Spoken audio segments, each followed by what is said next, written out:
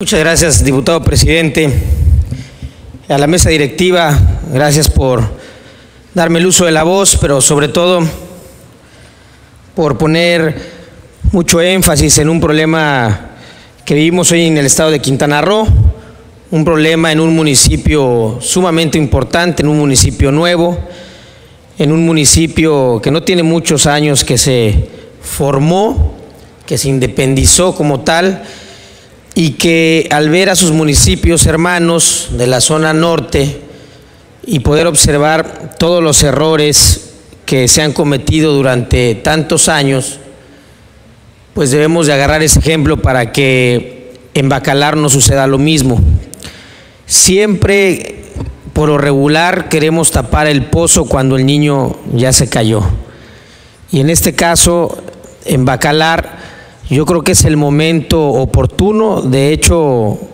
poniendo atención en las intervenciones pasadas de mi compañero el diputado Padilla, de las sesiones anteriores, creo que estamos ya hasta retrasados en tomar acciones en el municipio de Bacalar. Efectivamente es una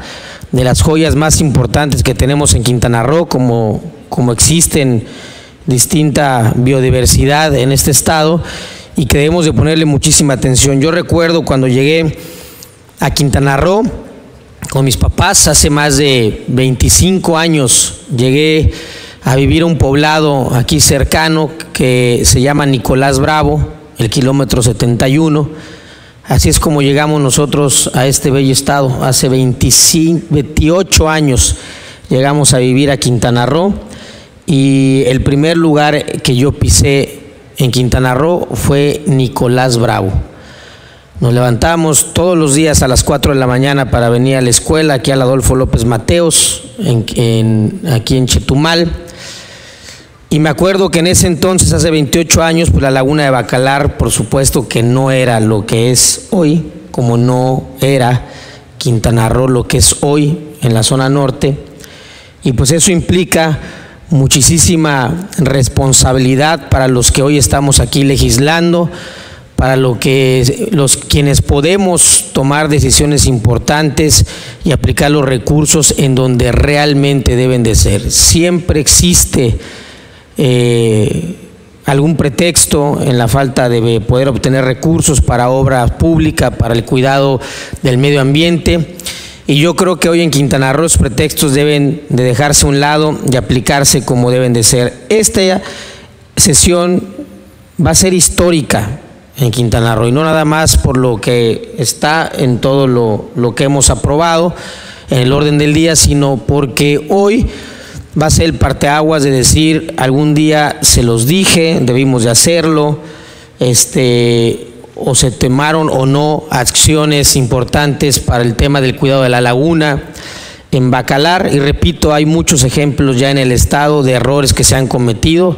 en donde no se ha planeado correctamente, en donde no se ha hecho inversión correctamente, en donde la imagen urbana no ha sido prioridad eh, tampoco en materia de crecimiento en el estado. Y yo creo que pues tenemos que cuidar eso hoy en el municipio de Bacalar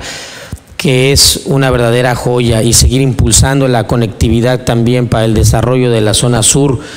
que es lo que a todos nos, nos incumbe aquí. Y bueno, pues yo quería no dejar pasar en esta última sesión ordinaria ya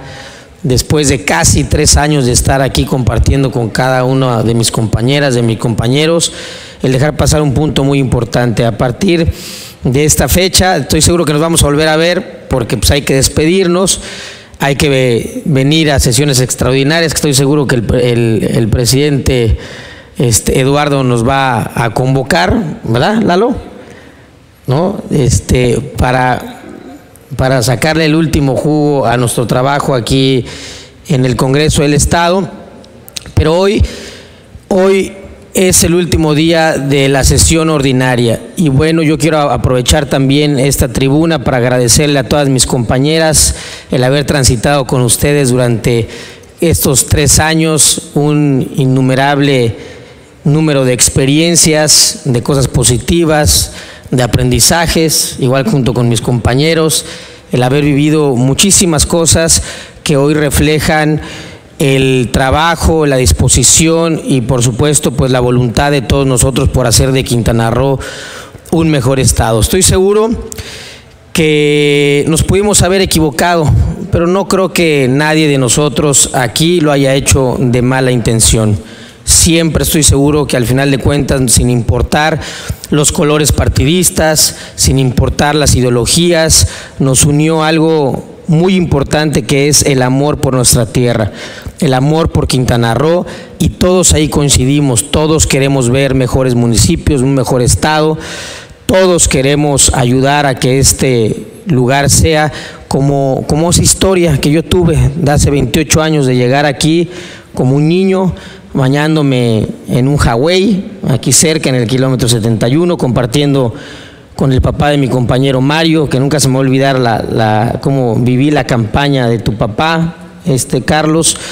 Muchas experiencias muy bonitas que, que compartí con el papá también de mi amiga Leslie, que hace años me acerqué a él dándole una carta como un joven más en este estado y vaya mi sorpresa que 20 días después alguien me llamó de parte de, tu papá para darle, darle seguimiento a esa carta y son cosas que no, que no se olvidan. Entonces, de verdad que fue un, un gusto compartir con ustedes, compañeras y compañeros, sigamos luchando desde cada una de nuestras trincheras para que Quintana Roo siga siendo lo mejor, ya sea en algún puesto administrativo, en algún puesto de elección popular, en alguna carrera política, desde nuestros hogares, pero sobre todo como ciudadanos, como papás, como personas, como hermanos, ahí es donde debemos de estar todos los días ayudando a que Quintana Roo sea el ejemplo. Hoy vive una situación sumamente difícil en materia de seguridad, sumamente difícil en materia ambiental con el tema del sargazo, con el tema como los que estoy planteando aquí de, de contaminación interlagunar, como es en Cancún, en Bacalar, en fin